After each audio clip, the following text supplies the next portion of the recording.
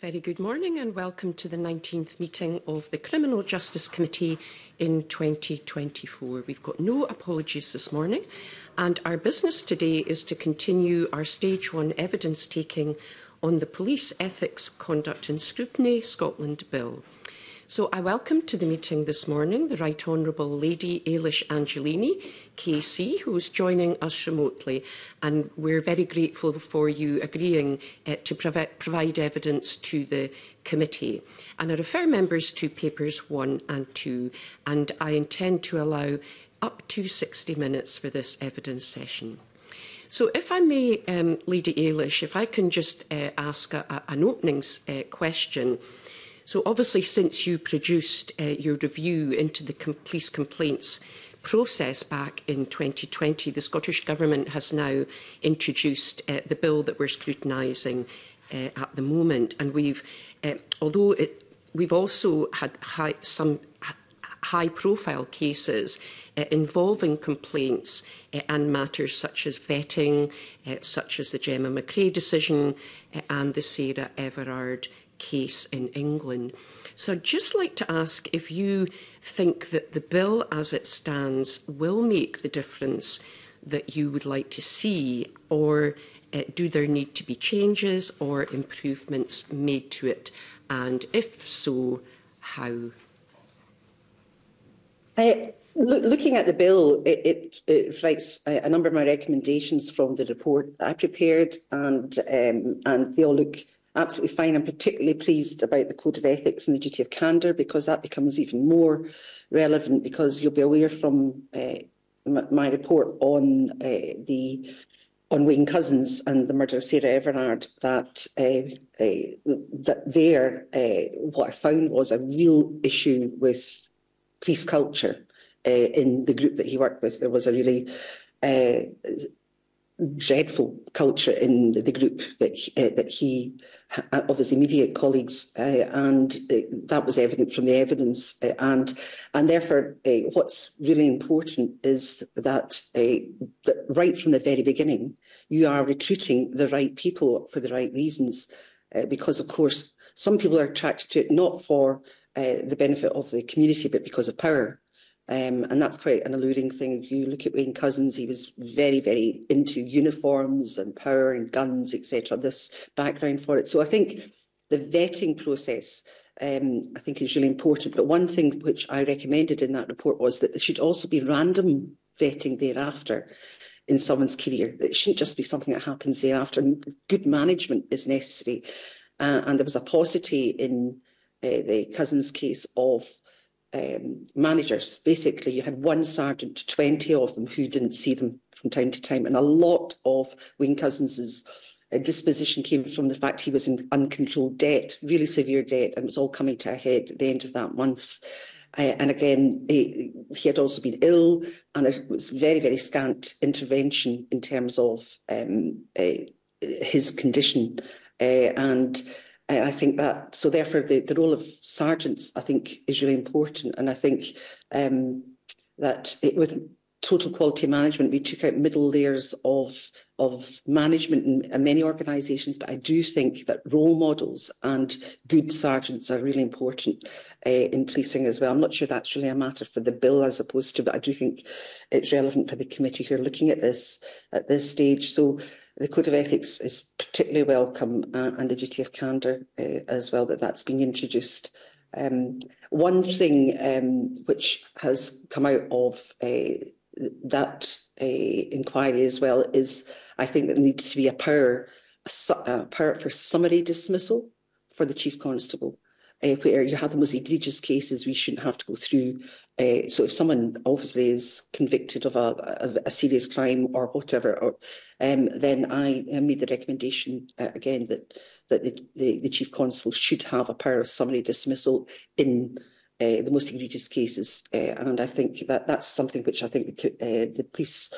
Um, uh, association would want to obviously make representations about, uh, but I think that that's something which um, certainly with the, the benefit of looking again at different circumstances, widen uh, the, the, issues that you're looking at, uh, that it, it uh, seems to me uh, to be appropriate uh, in very few cases, but nonetheless a power that the, the, the chief constable should have.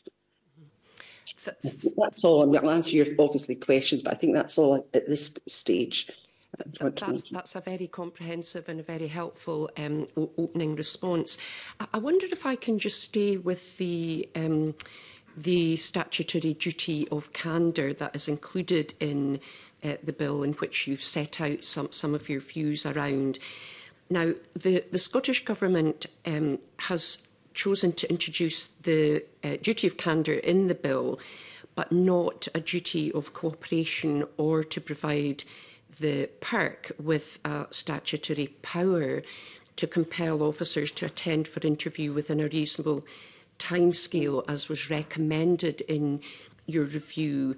So I'm just interested to know if you agree with that position that the government um, has taken, so the, the, the, the way that the duty of candour has been laid out uh, in the bill. And if you feel that that's sufficient to ensure the sort of level of cooperation um, that perhaps would be required to um, allow investigations to be undertaken and concluded timeously. Mm -hmm. Can I just read it? I'm looking at uh, paragraph four uh, of the provision. Mm -hmm. Can I, I'm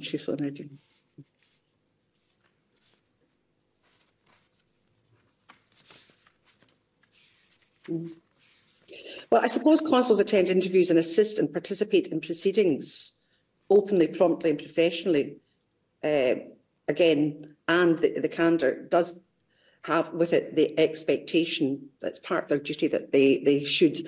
I think the, the, the problem was, I think there was a particular case where there was a group of police officers. Eh, what used to happen is if there was an event involving a police officer, then they'd all go into a room with someone from the federation or some, and they would group together, which is not the best way to, in any circumstances, to take evidence eh, from witnesses if they have been together, whether or not it's for perfectly good reasons about their welfare eh, after a, a serious incident. But nonetheless, they are professionals, eh, and the importance of ensuring that evidence is preserved and is the evidence of that individual not what might be impliedly uh, the group think or mm. what is expedient for one or two members of that group, which can put pressure on other officers in that. It's basically to make sure that that um, uh, it shouldn't. It, it goes without saying it shouldn't be necessary because of the oath that they take. But um, at that, I can remember that there was some circumstances, it's eh, obviously way back now, uh, where that concerned me greatly that that, that situation could uh, arise and that therefore there needed to be a specific um, a prov a provision to that effect.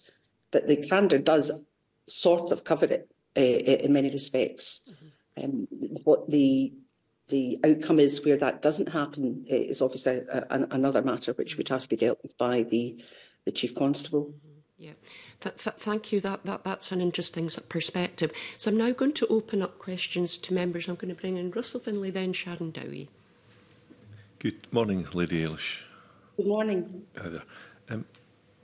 so, so um, you um, have spoken during the con conducting your review, you spoke with a number of uh, witnesses, both members of the public and police officers, past and present, I believe, and I think we've we've heard from some of the same individuals.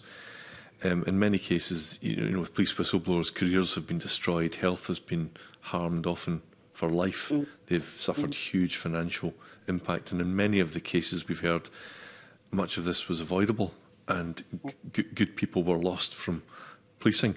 D- does the mm. bill, um, do you think, uh, do enough to protect whistleblowers?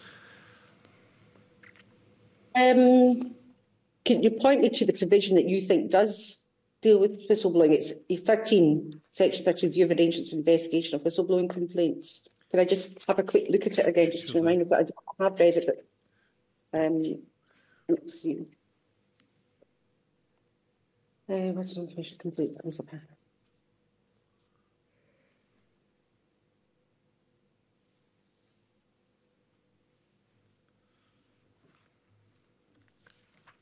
It's quite, it's quite short, that section 13.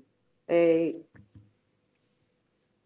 but it basically says that, in the words the Commissioner to complete, becomes subparagraph, so it's inserting and amending another act, obviously 2006 Act.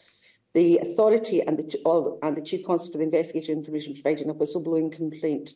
So at the moment, what do, can, I, so can I ask you a question just for clarification? Because it's obviously some time since I've been uh, away. Um, What are the provisions at the moment that you th eh, do you think they're defective well, and that they require to be I, think improved? from the, the, the witnesses we've heard from, there's a some of them who have been whistleblowers have experienced uh -huh. effectively what's been described as a weaponization of the process that's being turned against them. Um, and, you know, even when we questioned the Police Federation a couple of weeks ago, and they've uh-huh. got issues with the bill, um, they acknowledged that, this was a problem. That often uh-huh. some of their um, members were being effectively suffering de detrimentally due to attempting to say blow the whistle, and, and and maybe without getting bogged down in the legislation, which you've not had a chance to properly, you know, mm-hmm. scrutinise. Um, I, I just wonder as well, having spoken to witnesses if you've if you've seen any evidence of a change in culture in that regard um, in Police Scotland, I or I think it's incredibly tough for police officers because of the whole. If you look at the, the culture of policing, uh, again, the uh, they depend on each other. Uh, therefore, the, the, bonding process is pretty important, and very often that's why these WhatsApp groups, etc., appear because it's part of that bonding, etc. And they can be a quite, quite good uh, process or they can be turned. And the difficulty with some of these processes are is that, uh, as with any organisation, you might have someone who's a dominant individual. If the dominant individual is a decent individual, it's not a problem. But you can have individuals who are bullies, basically, um, uh, and uh, are, are quite oppressive to other individuals. And therefore, if, if there is something... Um, I mean, if you if you look at the WhatsApp group in the, the again the Wayne Cousins report, it, it was absolutely horrendous. It wasn't just body humour; it was absolutely foul humour. It was every form of racism, you know, about women, everything you could think of. Um, and it, so, if you're in that group and the people who are in that group are the people who you rely on to save your life if you're ever attacked when you're going out in the streets. It's a very diff- it's a real strain for whistleblowers, and and and therefore they do need to have the best protection possible.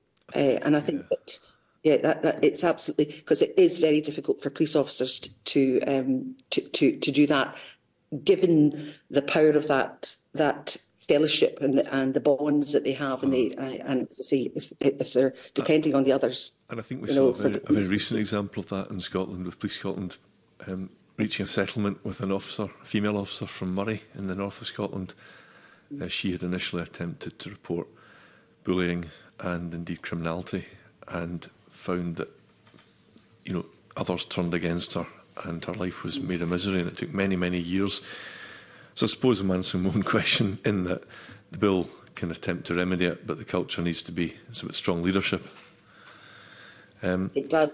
Yeah. And, and, I, and I think that, that starts at the very beginning and has to continue. Uh, one of the, uh, as I mentioned, uh, one of the uh, uh, issues I think important is randomised vetting, not just vetting at the beginning, because people can, can and their personalities can change. They can, can become very cynical uh, uh, after many years. It's a hard, hard job. I mean, we ask a lot of police officers.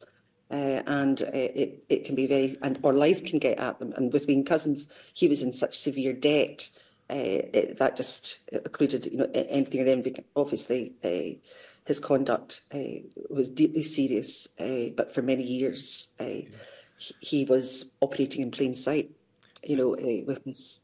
Mm. And it, it, it, it's really important to get, to understand that culture in, in policing and the, and the, how tough it is to be. Uh, you know, we all sit in our armchairs making uh, legislation, but the reality is they're out there trying to Absolutely. actually really difficult situations, and that's why I think um, it's important that the uh, the disciplinary police, uh, process recognises that sufficiently flexible enough as well to understand it. Now, when you were tasked with this role and the legislation that was born out of your report, um, you you didn't you weren't asked to appraise the costs, but the Scottish Government's financial memorandum for the bill initially put the cost of what's been proposed at 1.4 million, and they've now, now um, reassessed that at 5.8 million. We've had witnesses, um, including Police Federation witnesses, who think it will be even many multiples of that figure. Um, now, it's, again, it's not, it's not your job to, to assess the cost, but is there an argument that whatever it costs within reason would be an investment in preserving public trust and protecting good officers, giving them the confidence to raise complaints and blow the whistle if need be? Yeah, well, I, I, I, I I don't have to, to, to cost my recommendations. What I look at is what I think is right. It's for the Parliament, obviously, to determine what is both affordable and in the public interest.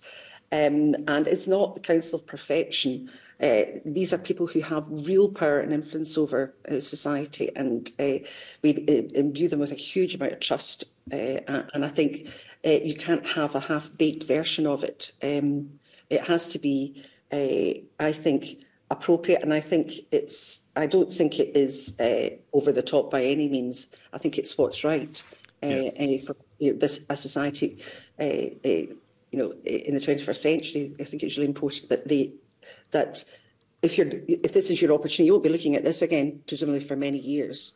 Uh, you have an obligation to get it right at this stage. Absolutely. Um, one of your recommendations is for the holding of gross misconduct hearings in in public. Mm. Um, for officers of all ranks, I think the version that's in the bill is only officers of senior rank.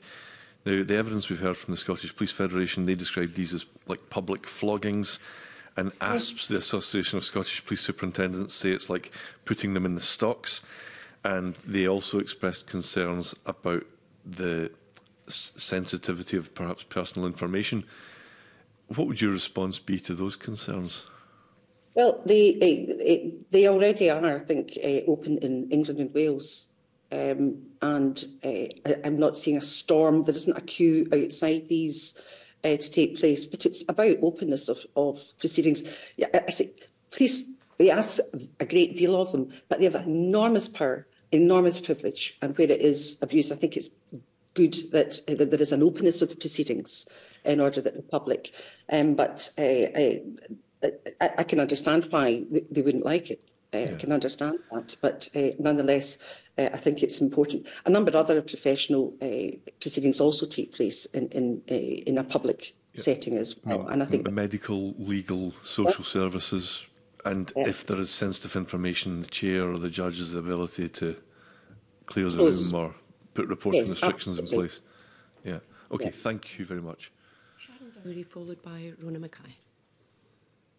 morning. Um, following on actually in some of the line of questioning that um, my colleague just said, the financial memorandum, as he said, has increased from 1.4 million to 5.8 and it's set to rise substantially more from the evidence that we've already heard. Um, a number of recommendations in the bill require secondary legislation on more regulations. Are you concerned that more detail of these are not on the face of the bill? And are you concerned, or would you have any concerns, that the cost of implementing these unknown measures will add a substantial cost to the financial memorandum, which could risk implementation if the resource is not provided. In your earlier statement, you'd said you know, we can't have a half-baked version of it. So would you have concerns that if we don't put the right finances in, we won't get the right result? Well, I, th I, think undoubtedly, you know, eh, eh, whoever I don't know who costs these things um, uh, uh, and how, how they go about it, um, but some of some of them are, are not that onerous, uh, I, and they're already, you know, the, the, the institutions are there, are already set up. Um, it, I don't think that this uh, this bill is going to result in a, a avalanche of uh, complaints coming in, new complaints coming in. I mean, they, we should be hoping that those are already coming in because we've got the park and we've got the, uh, uh, uh, others uh, doing that already. But what it should do is make it as good as it possibly can be.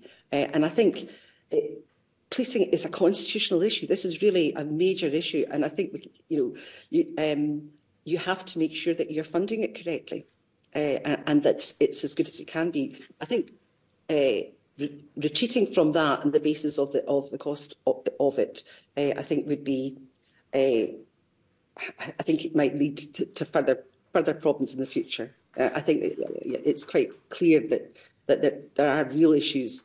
Uh, I'm currently now looking at police culture across England and Wales, um, and day in day out.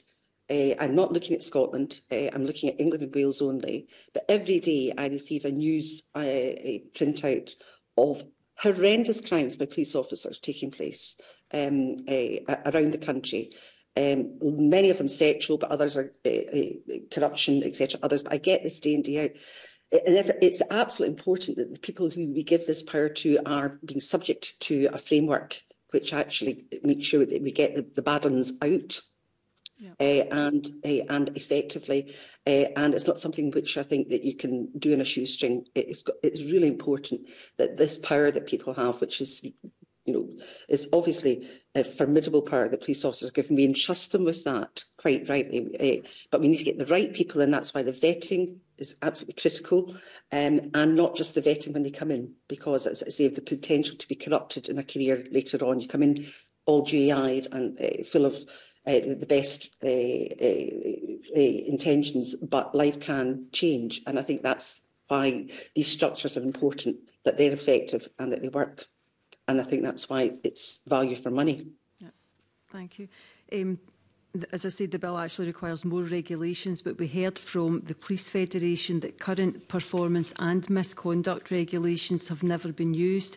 Do you think we need to look more at performance management within Police Scotland to ensure that they're already using the tools that they've got in place, that they already have? Oh, well, I did make a recommendation in my report about reflective practice, you know, and not there shouldn't be this immediate uh, uh a referral to a disciplinary procedure in, where in other circumstances it's really a management matter and uh, and the discipline uh, but uh, I think that uh, the, the huge privilege that police officers have the power that they have it demands that there is also a, a really good uh, effective uh, system for uh, discipline as well that's in place uh, and that can be effective in terms of the quality of its investigations and the actual process itself.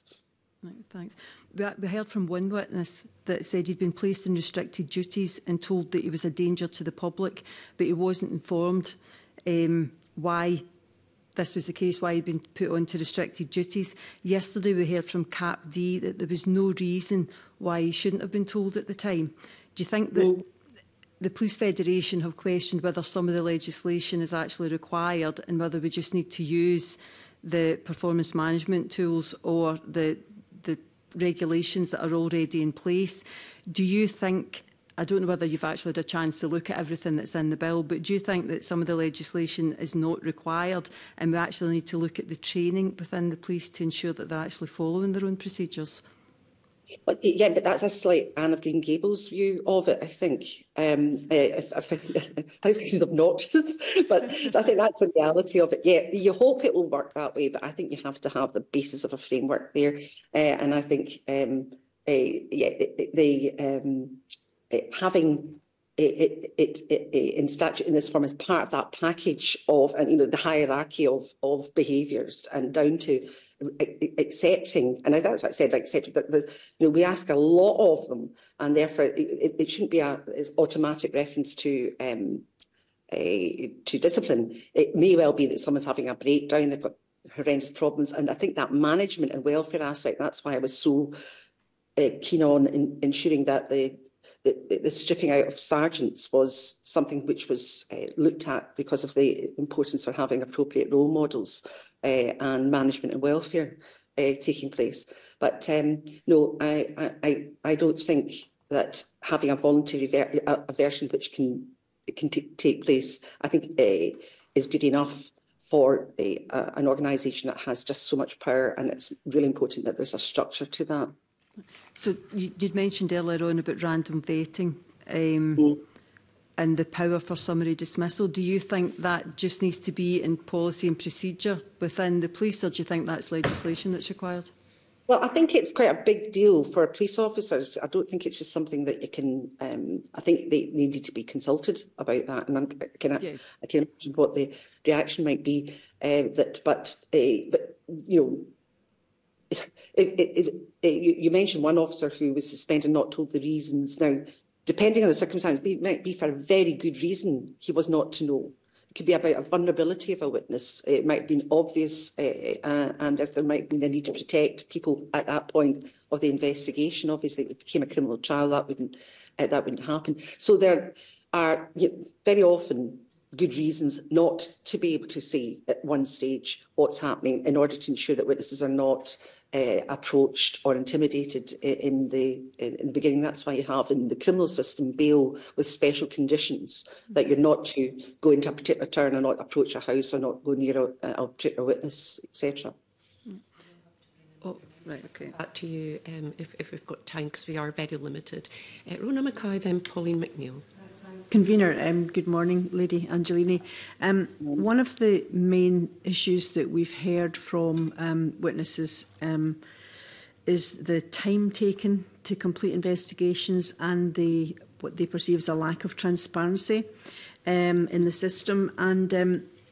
One witness told us the system does not work for police officers or members of the public.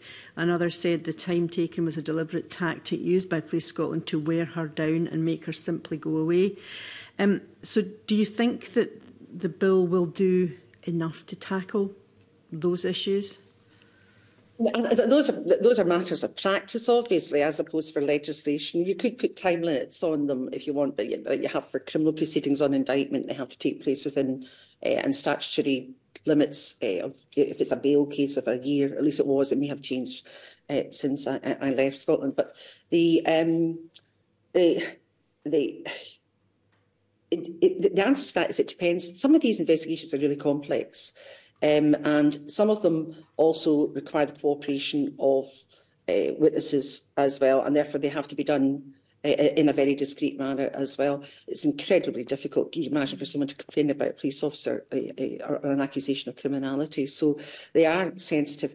Um, the other question could, uh, could be, is it the resources of the park? Um, it, eh, eh, and some are eh, obviously investigated by the, the police themselves in their, their, their units, but others are dealt with by the park or taken over by the park at some points. Uh, and therefore, um, there should be targets. Uh, they should be accountable for them. Uh, the chief constable must make sure that he's putting sufficient um, uh, resources in there because it's a very important part of the uh, the the, uh, the duty of the chief constable to ensure that if there are allegations, that a they're done properly, and also to, not just about the the alleged victims, but also about the, the, those police officers who are the subject of it, that, you know, that, that isn't undue delay.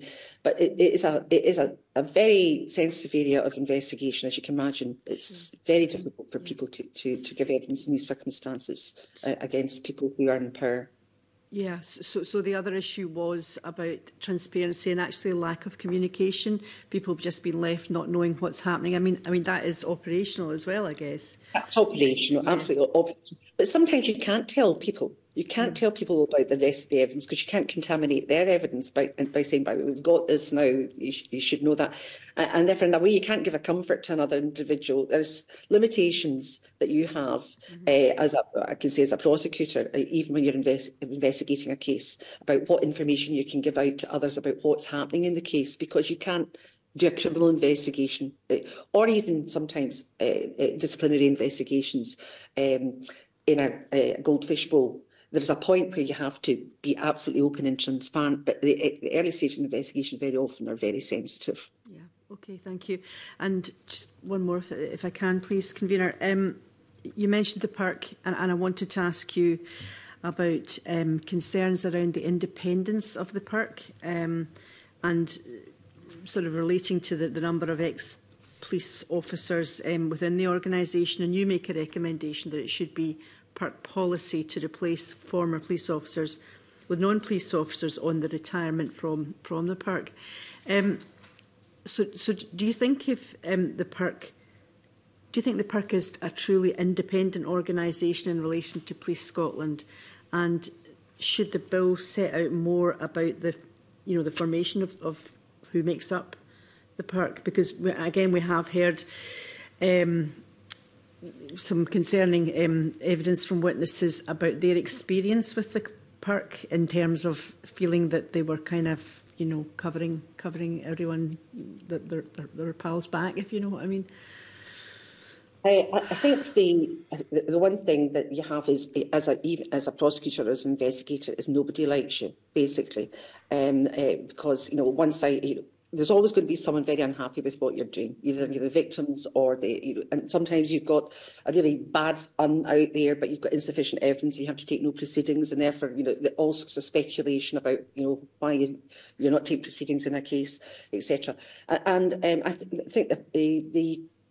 uh, is it the commissioner, the, uh, head of PERC? Um, I'm not sure what the, the title is now, I've forgotten that. Is Michelle McLeod? Michelle. Uh, yeah, and she uh, she's a, was a very senior prosecutor, utterly aware of independence and the importance of that of an investigation.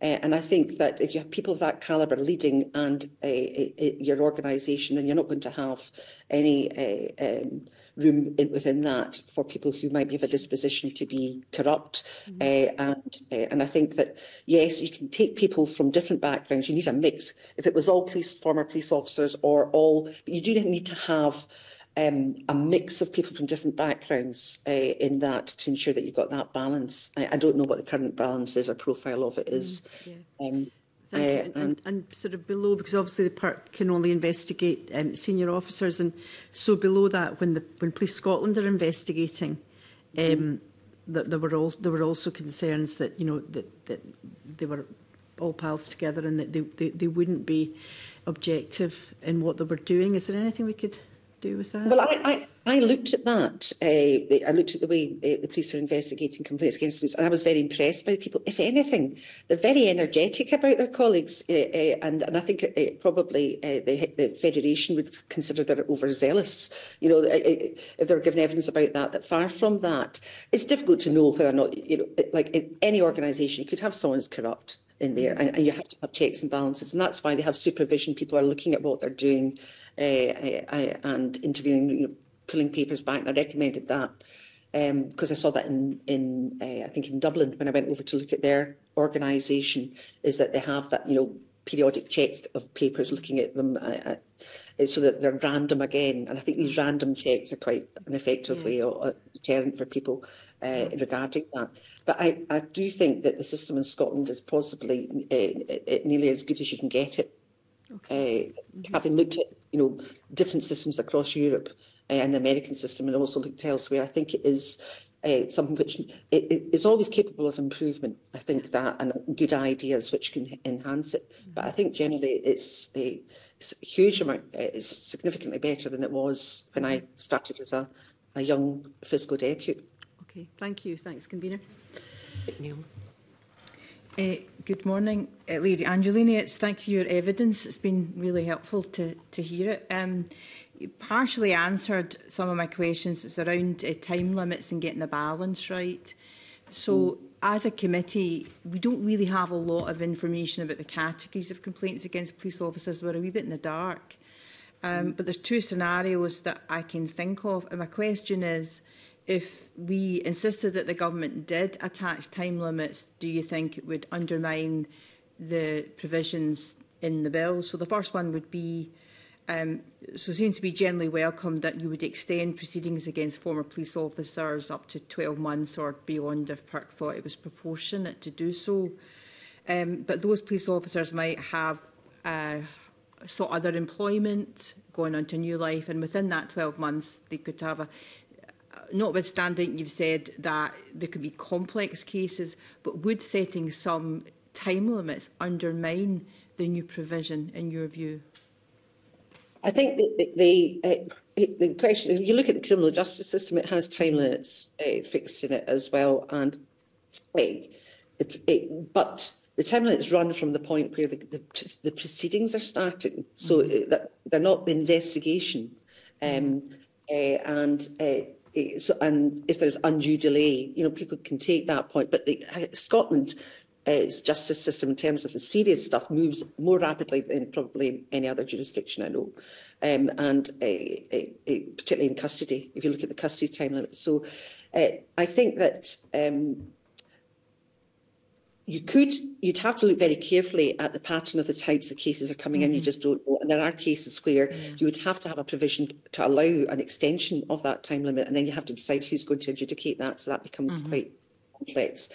Um, but uh, I, uh, by their very nature, these are difficult inquiries. They're sensitive.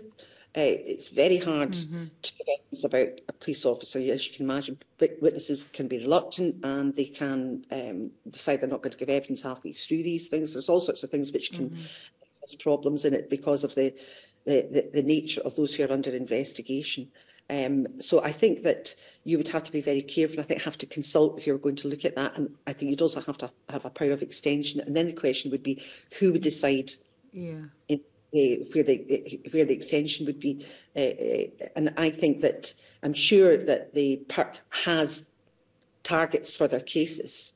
Um, uh, they are accountable to Parliament about how they mm -hmm. perform against their own targets uh, as well. And uh, the Justice Committee of the Parliament could, you know, have an annual look at how both the prosecution service and the um, uh, uh, uh the uh, PERC are performing in relation to their targets. But there will always be exceptional, very complex cases which can take years to investigate.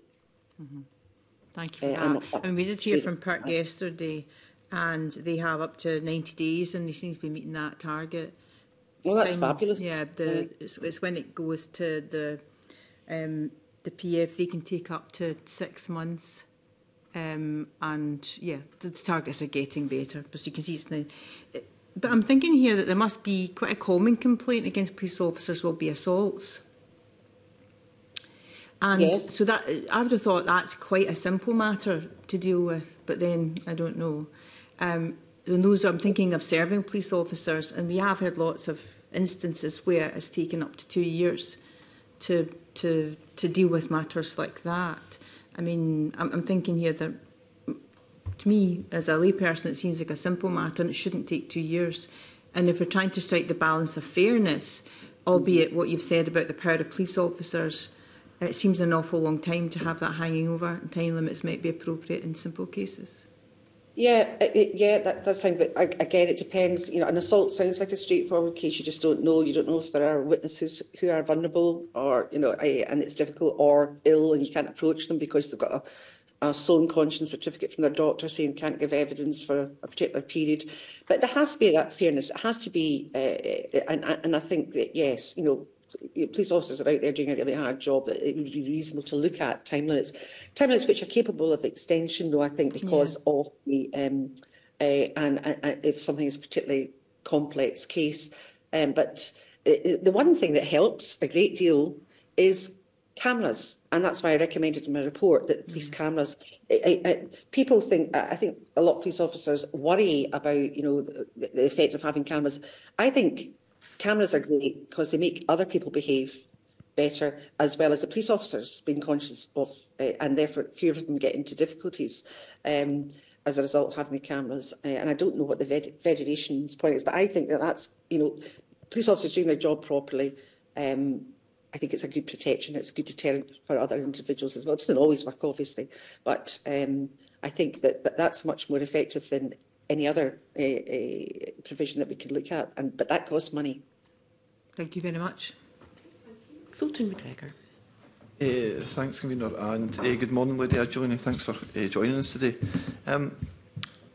In a previous answer to Rona Mackay a couple of uh, questions ago, um, you indicated that the system in Scotland uh, is actually pretty good uh, and has got better over the years since the time that you were a prosecutor.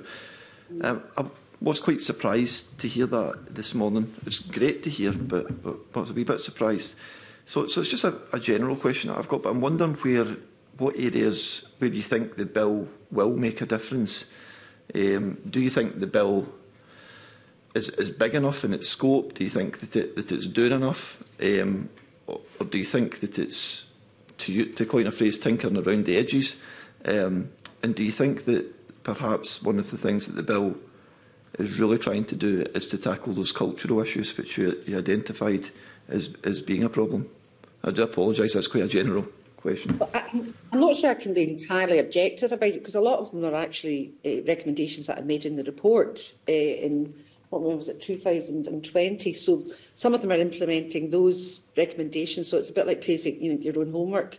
Um, I, and I think it's a matter for others to uh, assess. So, for instance, the duty of candour and ethics, etc., was a recommendation in the report, and it's one I've obviously made apropos of that.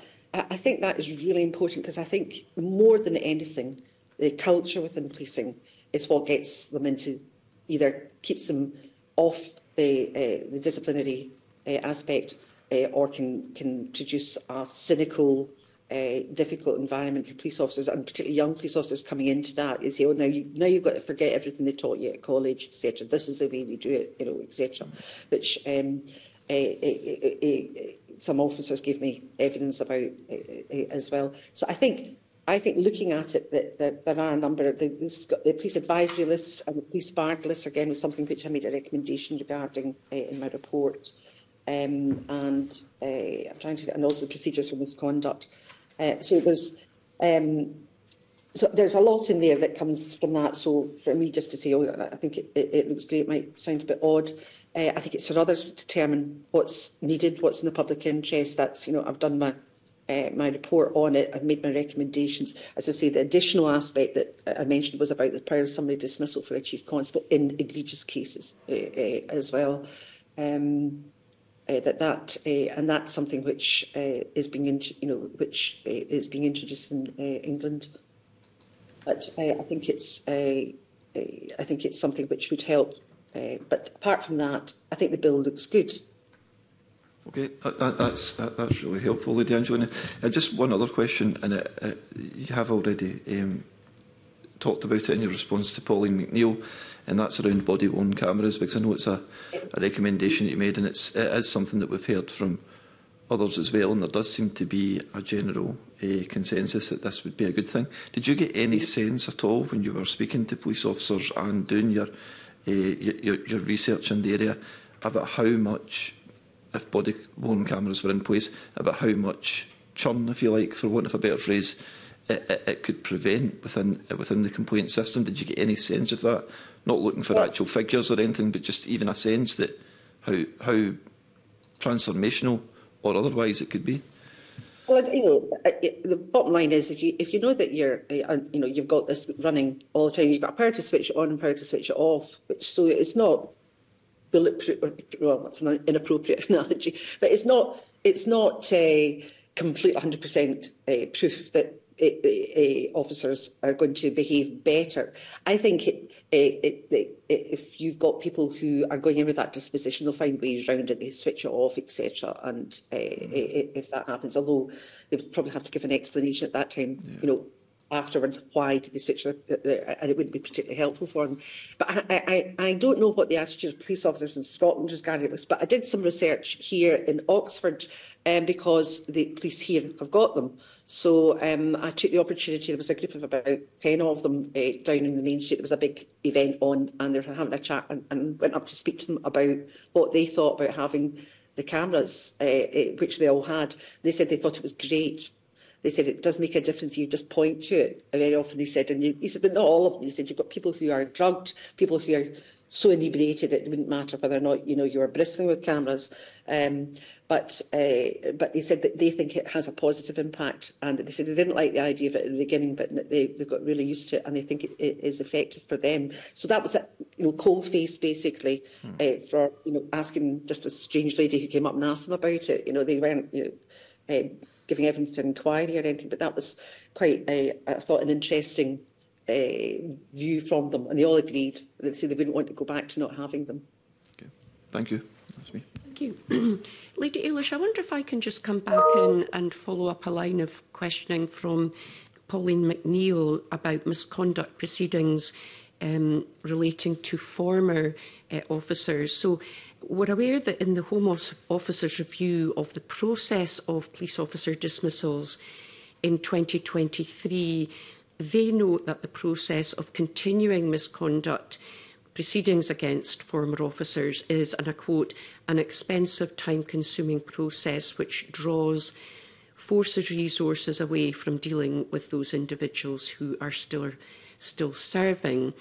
So I wonder, I'd be interested in your views on that conclusion um, and just maybe ask for your sort of reflections on why you feel that it is important that there is a provision around misconduct uh, proceedings for former officers um, in, in the bill?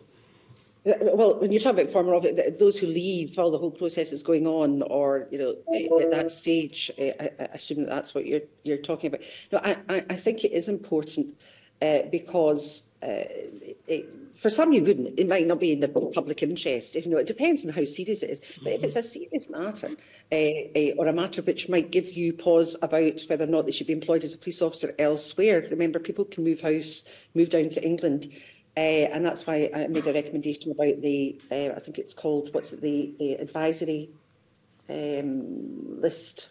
Where is it? Yeah, the, the, uh, the police advisory list and the Scottish police barred list, basically uh, which they, uh, they have in, uh, in England, and it's kept by the police college there. Uh, and during the time of the, uh, this, I looked at the fact that there is a register so that people in, again, in England, Wales are 20, what's it, 28 police forces. So they, they, you know, they can go round from one to the other and the, the, some of the history can uh, get lost. And again, Wayne Cousins was one of these individuals. He moved uh, uh, uh, from one police force to another police force and the information that was on the Police National Database about him wasn't checked. He got employed despite the fact that he had indecent exposure uh, on the, uh, the, uh, the, Police National Database. So the, um, so the importance of having information about people applying for jobs and moving is really important, and that, that, that's why that, that was recommended um, as well. but uh, if it's a if it's a minor, a relatively minor matter, then it's yeah, of course, just the, the proceedings at stage once they've gone. But mm -hmm. I mm-hmm. think, again, you can rely on the common sense of the people, the, the, the senior officers who lead the um, uh, complaints sections have got common sense as well. It's what's proportionate. Uh, and I would agree that not all of them require, if someone's out of the force, then that might resolve the problem, the issue. Uh, if uh, and that it, it should be something that haunts them for the rest of their, their days. mm But certainly, if it is more serious than that, then yeah, it's necessary to have mm these lists.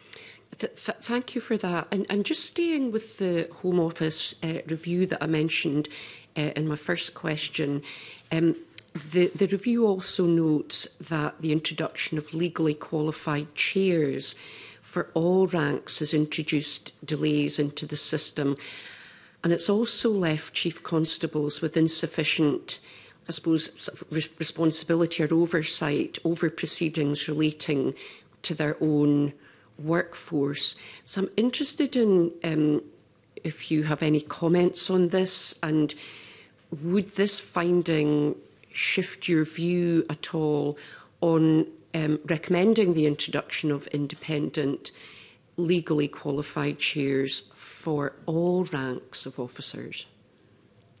I, I, I think the most senior officers obviously want to have the independence uh, of uh, that uh, for the most senior officers. Uh, and again, many uh, disciplinary matters that can be dealt with by the, you know, the senior, the reporting officers. They don't have to go before any of these boards, and I think that the threshold for that's important as well. That, that you know that that that, uh, that, uh, that the sergeant or inspector or chief inspector has you know powers of the uh, of discipline at the at the very beginning. Uh, however, I, uh, I do think that uh, the I think it's important for the, you know, the serious complaints, in mm. particular for them to be an independent chair. I think it's important uh, protection uh, that they should have because it's a very serious. I mean, being a police officer is a very privileged but very um, uh, important office, uh, and I think therefore, if you, uh, if you are going to be removed from it, Eh, mm-hmm. then there need to be sufficient protections. And I think police federations do a very good job at, at, at making sure that there's good rep legal representation for uh, police officers as well. But I also think you need to have sometimes people who are also au fait with that, and that um, if it's, I think in, in some places it's just uh, people are uh, taken from uh, not forensic backgrounds who are not used to dealing with this, and it can be quite overwhelming uh, having to deal it's a really difficult decision to make about a police officer who goes in to a force to do good uh, and that you have the power to really, you know, end or damage that person's career very significantly by your mm-hmm. decision. You need people with confidence, uh, and I think that's part of the process. Mm -hmm. Th thank you for, for that. One of the things um, I, I've found myself becoming quite interested in uh, and thinking about as we've been looking at this bill has been what what is it that brings a, a police officer or a member of staff into um, this um, process, whether it's a complaint against them or, or, or an allegation of misconduct? What is it about perhaps the demands of the job or their environment, their circumstances that um, results in them ending up in, in this sort of conduct space, if you like? Um, so Um, Pauline McNeill spoke earlier on about you know, a, a, a, probably a relatively high number of incidents involving allegations of police assault. But um, given uh, your longevity um, in, in this world of um, justice, I'm very interested in what, if any, observations you may have in respect of what, what is it that is pressing down on police officers um, that, that, that may result in them, or, or staff for that matter, that puts them in a position where they're facing a complaint or an allegation of misconduct. So it's a bit of a big question, but I'm just interested in what that sort of societal um, factor might look like. I think principally that sometimes we forget that we ask a huge amount of police officers. Um, Uh, and, and I've said it, I think I said it in this report, that, you know, that we're asking them to go to situations the rest of us are running away from. Mm -hmm. um, and uh, Uh, and, and that's not just on a, you know, we're not talking about terrorist situation, I'm talking about, you know, if there's a breach of the peace, you know, which is one of the sort of lower level crimes. Actually, if you're walking along a pavement and there's a breach of peace, it's terrifying. You know, it, it can be very, very frightening. And, and so, and many of them are young police officers are coming, you know, they've only got their own experience of life and having to come in and deal with that is asking a lot of people. Uh, and I think that that's one of the things that, that we forget. And therefore, I think that the, the that the the way in which the the, the disciplinary system it uh, works has to be understanding of the pressures and the provocation. Mm-hmm. Because again, it, if you've got someone, uh, you know, uh, uh, and I've been out and I've seen these situations when I was a, a, a deputy fiscal in air I went out with the police, uh, and you know, you quite frankly, you want to really punch one of them. That, that you know, that's a natural human reaction. You don't do it, but you know, they're just it's so difficult and it's actually so frightening. The noise level is frightening. It's difficult to replicate that in a courtroom where it's quite sterile and everybody's giving evidence about what happened. But I think that's one of the good things about the cameras because mm. they capture, you know, some of the uh, anxiety anxiety that police officers, no matter how well trained they are, mm. must be feeling as human beings. Yeah. And I think that's part of the problem is that year, you know, year on year, going out there, being subjected to that must have an effect. Yeah um, on people uh, and uh, you know create some underlying anxiety yeah. because yes it could be a or pretty ordinary uh, uh, patrol you're going out on uh, and it turns into something that it becomes a disaster you know uh, and so uh, as I say I th generally think that I, uh, I, uh, over the years I've you know, I've prosecuted police officers, but uh, overwhelmingly, I think that the uh, eh, the public in Scotland are served brilliantly by the police service in, uh, in Scotland, and I think they're genuinely motivated, willing to, to good, do good. But having a system that makes sure that the bad ones basically uh, are weeded out is in their interest as much as it is uh, uh, the public's interest. Mm -hmm. that, that, thank you. That, that, that's really interesting. And a very final, um, fairly quick uh, a uh, question from Rona Mackay, and then we will have to draw the session to a close. Okay, th thank you. Yes, just just briefly, um, I want to ask you about vexatious complainers. So the bill doesn't con contain any um, reference to that. So the government have said they will monitor it and bring it in as secondary legislation if that's required. Just wanted to ask you about your view on that. Uh, I think vexatious complainers uh, uh, uh do need to have an effective deterrent because police are very vulnerable and uh, the, the most vexatious ones are, eh, can be prosecuted as attempted perverted course of justice or false accusation of crime if, it, if make an, uh, an accusation against a police officer. Um, but uh, I do think that uh, there should be a balance uh, and I think that uh, police officers have enough pressure without being subject to false accusations uh, and I think it's in the public interest that where that does take place, that it should be dealt with um, seriously. Okay, thank you. Thanks, Commissioner. Thank you. Um, so that's just coming up to time. Can I thank you, um, Lady Ailish, for joining us today? That's been a very uh, interesting and informative session. Um, I've very much appreciated it. So with that, um, we'll close this meeting and we'll move into private session. Thank you. Thank, Thank you. you.